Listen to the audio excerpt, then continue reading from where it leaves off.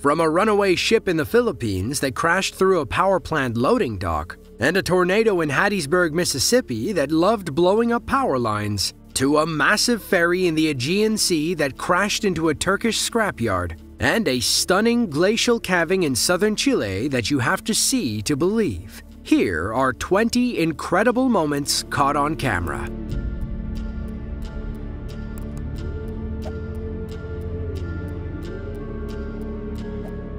The Ostend Spirit was a 26,000 ton ferry operating in the UK. It was owned by an English ferry company called P&O Ferries and had been sailing the seas since 1987. It was originally called the MS Pride of Calais, but underwent several name changes over the decades. In 2013, the Ostend was sailing for a company called Trans-Europa Ferries. Later that year, Trans-Europa declared bankruptcy and couldn't pay the ferry workers. They decommissioned the Ostend in April and sailed her to her final resting place in a Turkish scrapyard. On November 13th, the Ostend Spirit made an impressive entrance.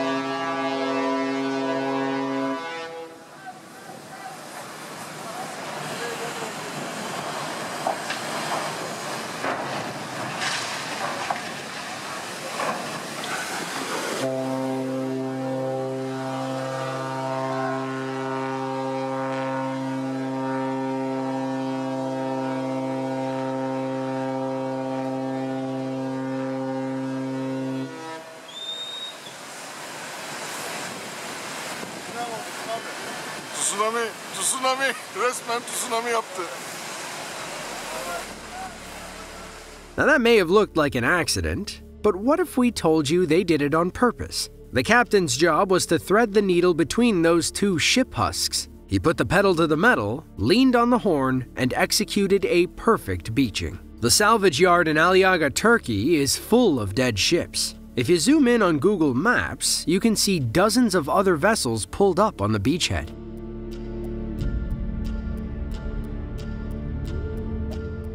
Hoogezand is a Netherlands shipbuilding town about two hours east of Amsterdam. They're home to the Royal Bodewes Shipyard, known for building sustainable cargo ships. But you can't simply build these boats on water. Instead, you make them on land and push them into the ocean. On February 18th of 2019, Bodewes prepared to launch their newest ship, the Tasman. The 90-meter, 3,000-ton vessel had to be launched sideways into the canal. Just as it was about to slide in, an employee noticed something stuck underneath. Keep your eye on the man in black standing at the front of the ship.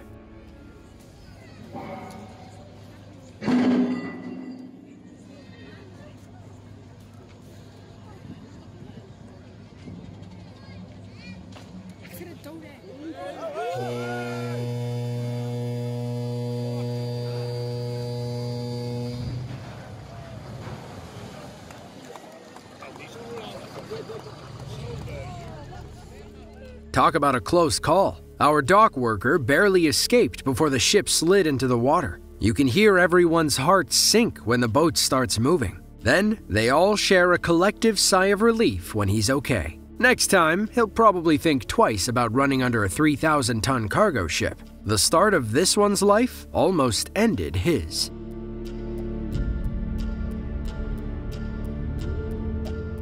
On October 18th of 2010, train spotters in Metairie, Louisiana watched a Canadian National Railway car haul through Jefferson Parish. A worker got out to flip the switch as the train approached the frog, or the intersection between two tracks. The train got rolling again, but then something went horribly wrong. The locomotive made it over the frog just fine. The 91 cars in tow were not so lucky. We're sorry in advance for the ear piercing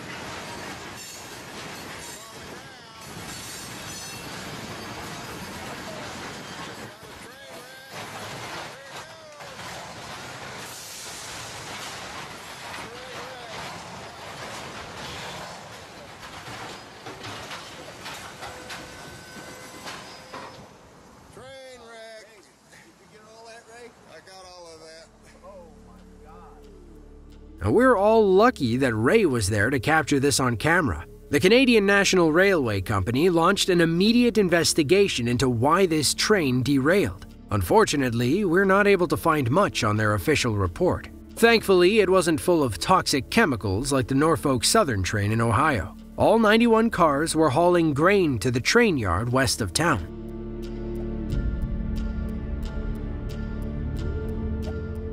In the final days of the Cold War, Soviet engineers had a unique dream. They wanted to build the world's largest airplane, the Antonov AN 225. Ukrainian engineers made that dream a reality, and Mriya took flight in 1988. Funny enough, Mriya is the Ukrainian word for dream. Mriya doesn't fly that often. When she does, she always draws a crowd. Watching this Leviathan land and take off is a sight worth seeing. On January 9th of 2022, spectators in Poland watched it land for the final time.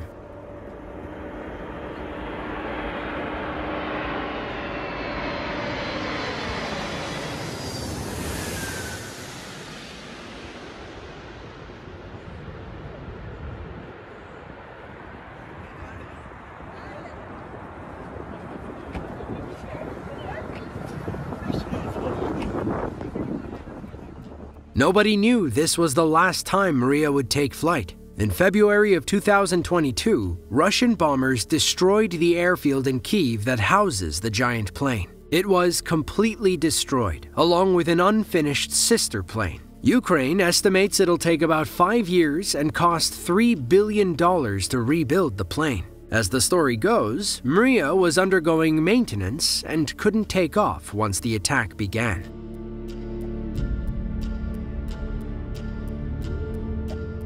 Toledo City is a coastal city in the central Philippines. They're known as the Power City since they're home to several companies that provide power across the Visayas region. Well, that explains why this cargo ship was carrying 18,000 tons of coal into the country. It doesn't explain why the engine suddenly failed. In June of 2020, dock workers watched in horror as the cargo ship lost control and careened through a neighboring dock.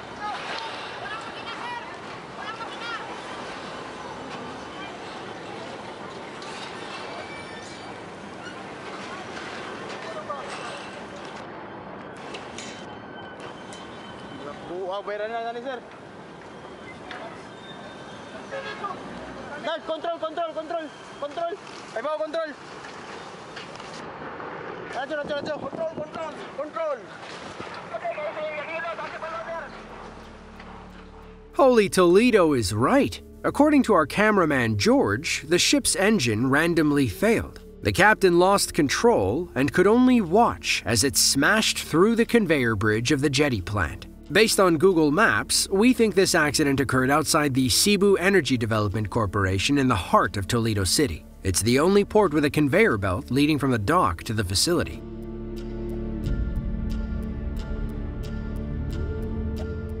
Thrill seekers love parasailing. There's nothing like getting towed behind a speedboat while flying hundreds of feet in the air. But every extreme sport comes with risk. That's why they make you sign a waiver before setting sail. On November 24th of 2015, a couple was on vacation in Turkey when they decided to go on a parasailing adventure. Things were going great at first. They had an amazing view of the Turkish coast. Then, tragedy struck. Thankfully, everyone was okay.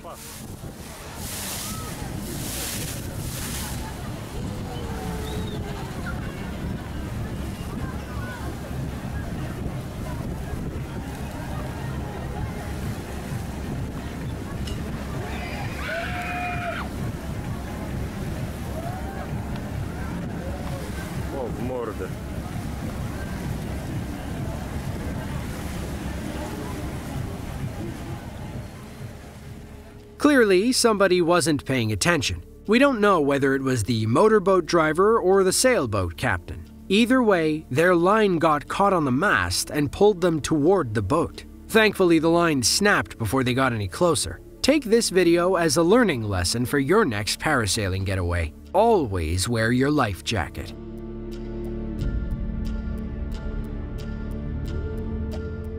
Military fighter planes are amongst the most impressive pieces of technology we have. They can perform incredibly tight maneuvers, break the sound barrier, and put a missile on a dime at over a thousand miles per hour. But when they're not in the heat of battle, we like to use them as stunt planes. The Royal International Air Tattoo is the largest military air show in the world.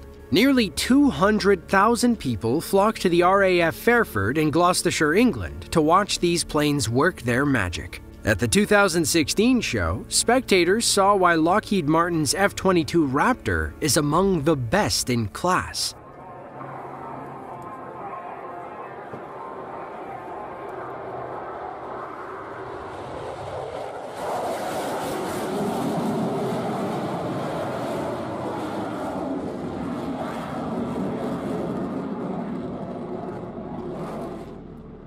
The g force of a vertical climb like that must be insane.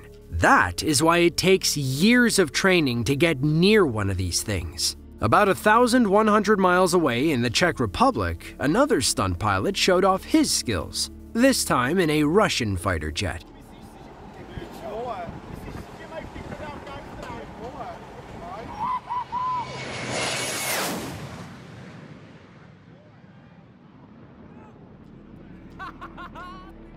Now we'll let you be the judge of which is more impressive. One thing's for sure, both stunts require years of practice and a little bit of insanity to pull off.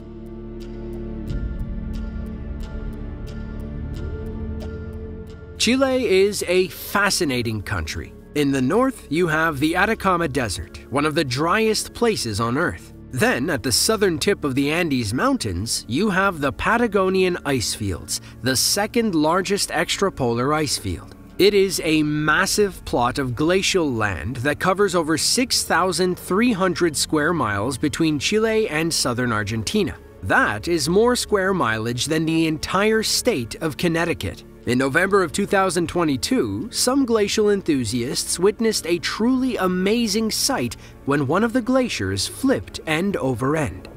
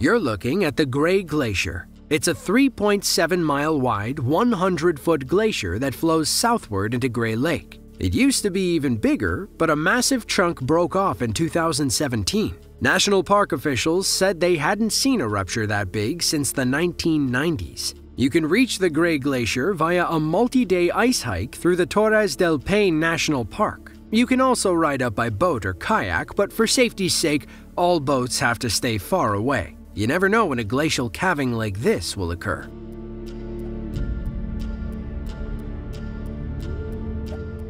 Somewhere in South Africa, a yacht owner decided to move their million dollar boat. We're not sure why they're loading it out of the water. Maybe it broke down. Maybe they just needed to bring it somewhere else. Workers attached pulleys to the yacht and tried to haul it onto the dock. The crane should have supported the vessel's weight. Apparently, someone miscalculated along the way.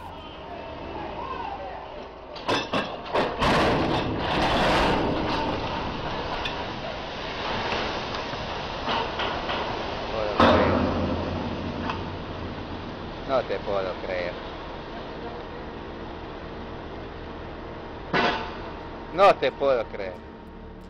That is a multi million dollar luxury yacht sinking to the bottom of a murky river. Things went from bad to worse when the boat made contact with the dock. That caused it to flip and land upside down in the water. Within minutes, she was gone. It probably would have been fine if the yacht landed right side up. We'd love to know how the workers explained this to their boss let alone the yacht's owner.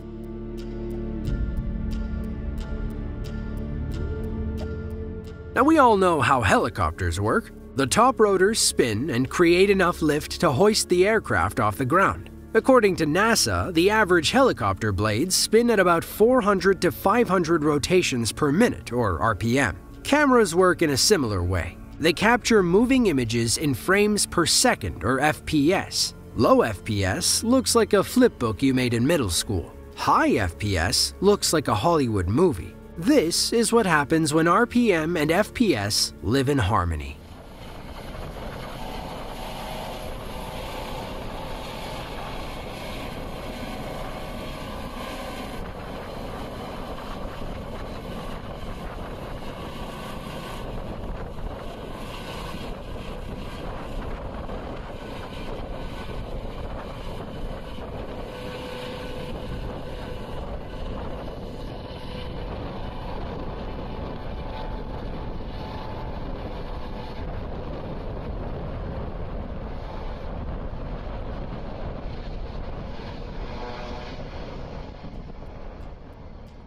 No, this isn't a glitch in the Matrix or a magic helicopter. What you're looking at is pretty easy to pull off if you know your way around a camera. The spinning helicopter blades match the camera's FPS and shutter speed. This creates the illusion that they're not spinning. In reality, the camera is shooting the rotor blades in the same position every time. Meanwhile, the fast shutter speed ensures it isn't too blurry. If you can't figure out the helicopter's RPM, you can just adjust your camera to achieve this effect. Yay, math!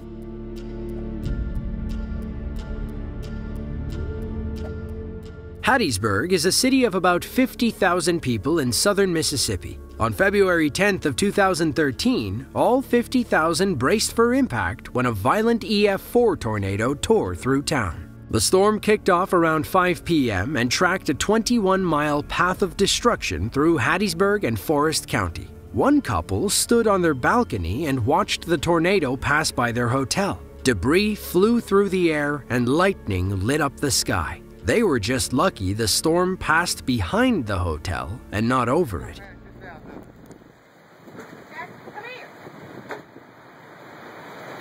Look at that. Oh my God. Look at that. Look, look. I can't. Watch out. Oh my God. Out. Thank God we didn't get hit by that. Look at the debris. Thank God we didn't get hit by that. There was more lightning. There's more stuff being blowed up. Holy cow. Holy cow, look at that. Oh my God. That is crazy, dude. Look at that. Look at that.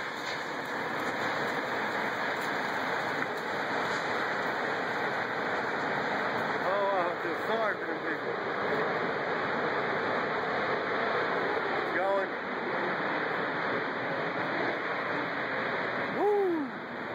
that thing.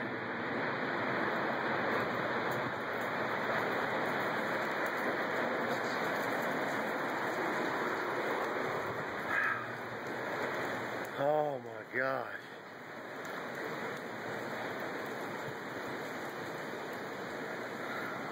Debris.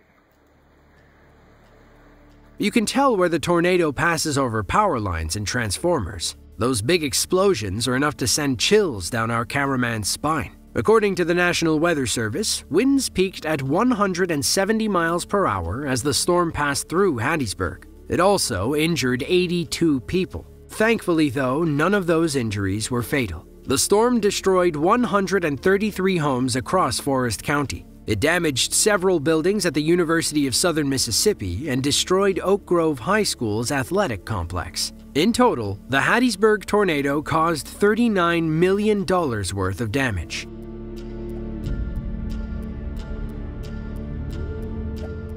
Most people think of Hawaii and California when they think of popular surfing spots. In Indonesia, most people default to the Kampar River, the country's most famous river surfing destination. The Kampar begins in the Barisan Mountains of West Sumatra and flows 257 miles to the Malacca Strait. The Kampar widens as it approaches the open ocean. As the tide changes, especially during the rainy season, it pushes water back up the narrower portions of the Kampar. This creates a world famous tidal bore that attracts river surfers from all over the country. The locals simply call it Bono or True.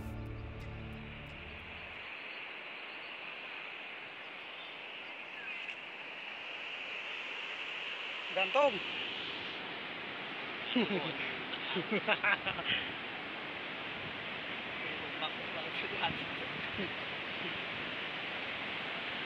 Takut kain nyono kuawa. Wow, Wow. bahaya ini.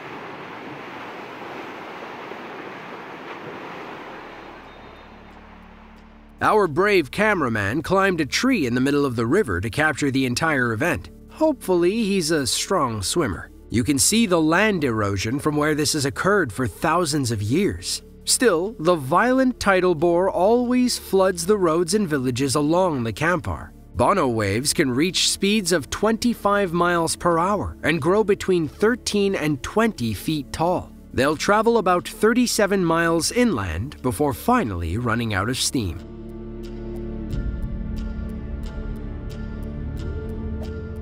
Think about all the worst places to run out of fuel. Now, imagine you're on a fishing boat in the middle of the Indian Ocean and the tank is on Triple E. Oh, and uh, to make things worse, there's a storm moving in. That's what happened to this fishing trawler in December of 2019. Thankfully, they got a distress call out in time. Another ship pulled up, tossed them some rope, and began towing them to safety. They just had to get through the storm first.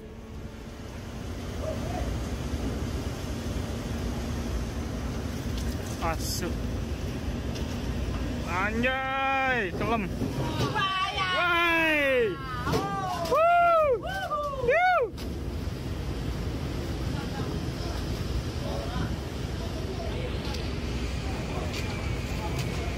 Uh, ngeri. Ngeri, bro.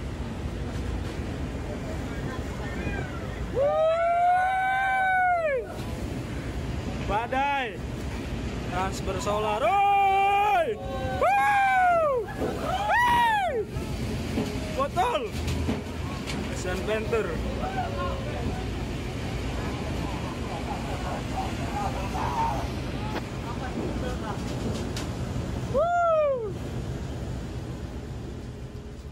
Look at how massive those waves are as they crash over the ship. Our crew on board the rescue boat clearly gets a kick out of it. We can't say the same for everyone on board the fuelless trawler. Things got a little concerning when the ship turned sideways. You want to hit these kinds of waves head on. You risk capsizing if you catch one from the side.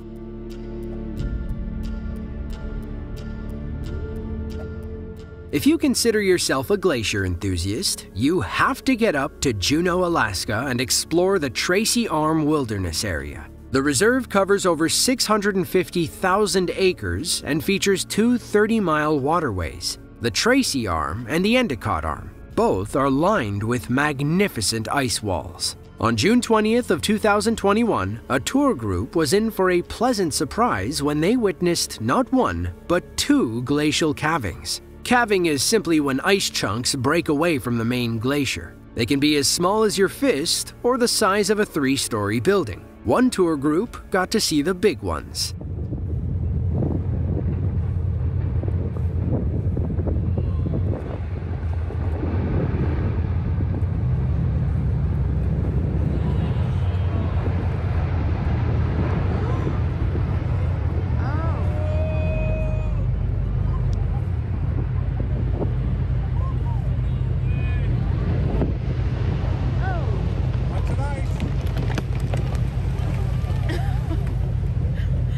I can't believe we just saw that. We got lucky, huh? That was fantastic. You're kidding. The tower, the tower. Yeah, right?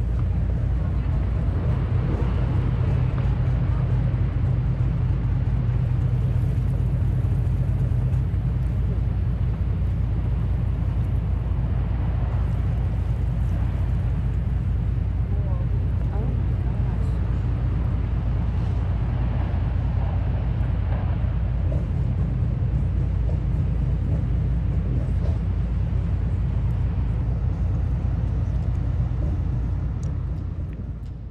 These tour boats are built to withstand the tsunami waves created by glacial calving. Uh, However, the flying bits of ice could pose a bigger threat. Thankfully, nobody got hit. Getting to watch one glacial calving in person is rare enough. Watching two within one minute? Now that's pretty exciting. As the second glacier falls, it flips over and the bottom half rises to the surface. Just look at how much ice was hidden underwater the entire time.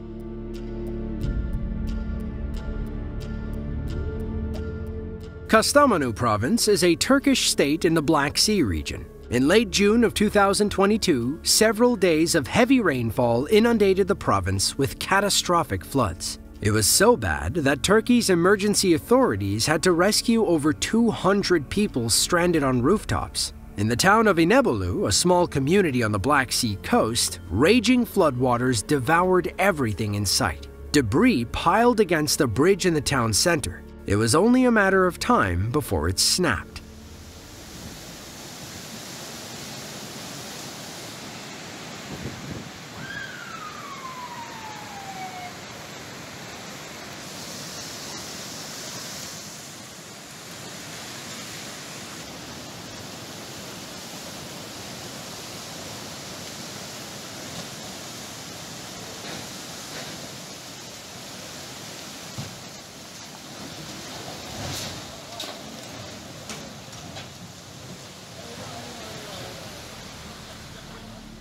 Inebolu recorded almost 8 inches of rain in 48 hours. The influx of water was enough to overburden the drainage systems and rivers, leading to violent rapids like this. If you look on Google Maps, the Cirque stream is usually an empty canal that flows into the Black Sea. The water doesn't come anywhere near those bridges. That's how bad 8 inches of rain over two days can be.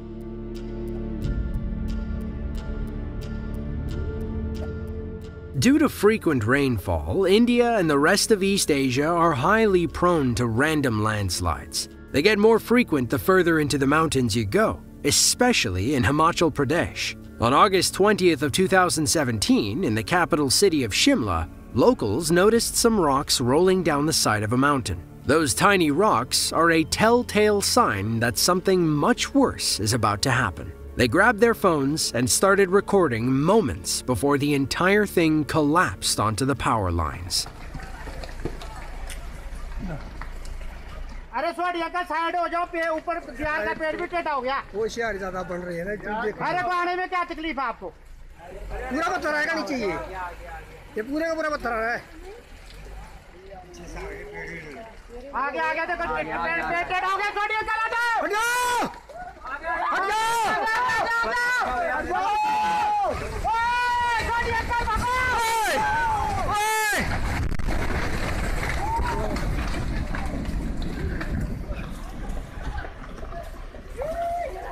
बाप रे oh my God बाप रे अरे घर भी बच गया ये समझो बच गया घर भी बच गया सब बच गया समझो The landslide didn't seem that bad at first. Then, that massive rock came crashing down and landed on the transformer. Not only were the roads cut off, but now the village was without power. How do you even move a rock that big without blowing it up? Late August of 2017 was a catastrophic time for landslides across Himachal Pradesh. Multiple events across the state closed roads, destroyed homes, and claimed dozens of lives.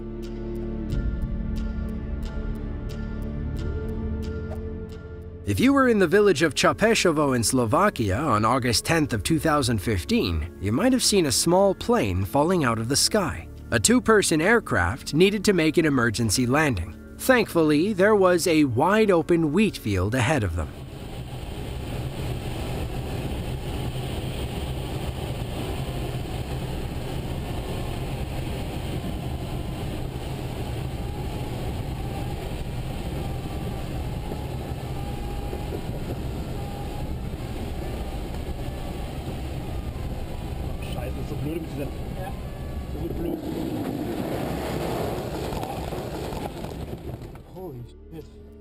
The most impressive part of this video is how calm both pilots seem. There's no room for stress and panic in emergency situations. Something went wrong with their plane while flying over a mountainous area. That obviously limited their landing options. We're not totally sure what happened, though. Whatever it was, it required an emergency landing.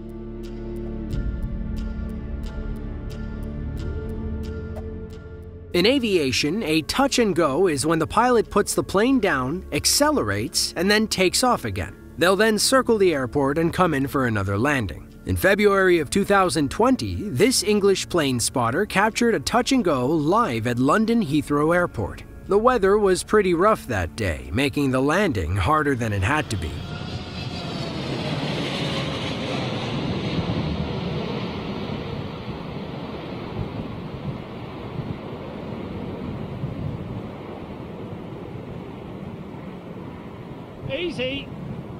Whoa, yeah.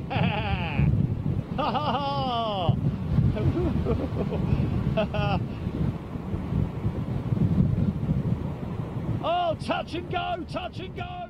The touch and go maneuver serves two purposes. First, it can be a training exercise. Pilots can practice taking off and landing several times in quick succession. It can also be a safety measure when they don't have enough runway space to stop the plane. In this video, our pilot didn't think they had enough room. Instead of hitting the brake, they punch the accelerator and take off again. It's always safer to come back around than force a risky landing.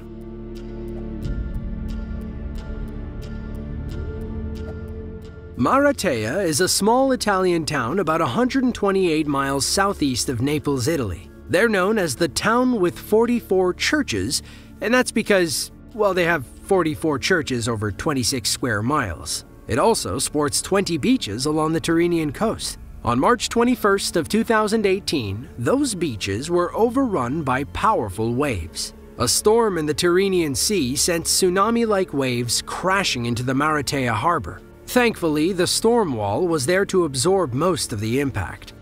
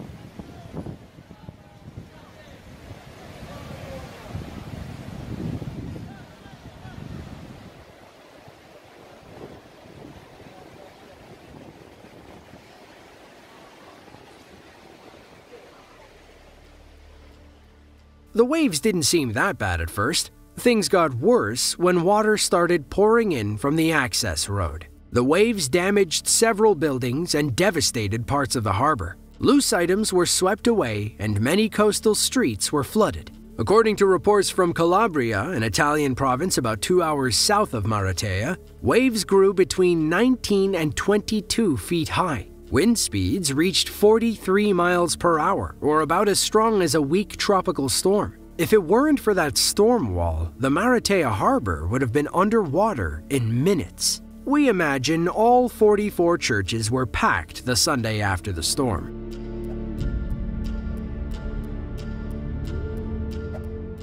Mount Manaslu is the eighth highest mountain in the world at over 26,700 feet. It's part of the Nepalese Himalayas, located in the Gorkha district of northern Nepal. Climbing mountains like Manaslu comes with inherent dangers, avalanches being the most common among them. Mother Nature can strike at any moment. On September 23rd of 2022, climbers at base camp learned that lesson firsthand.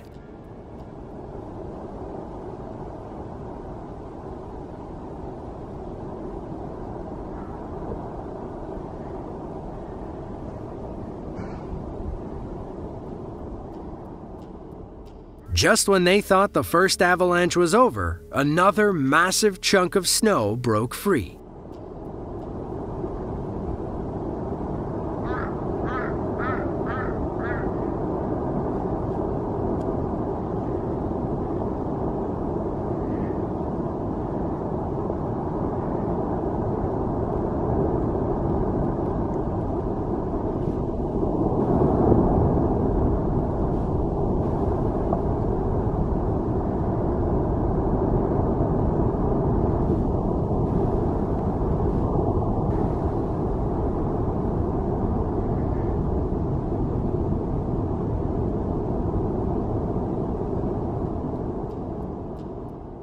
Thankfully, our camera crew was far away when the avalanches occurred. They said they were both due to a collapsing glacier.